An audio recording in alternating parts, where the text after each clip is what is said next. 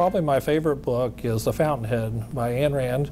Uh, and most people see Ayn Rand as this capitalist and, you know, very conservative aspect.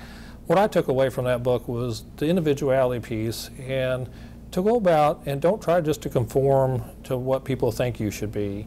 Do the right thing for the right reason. And that has really stuck with me over the years and has been important in my life.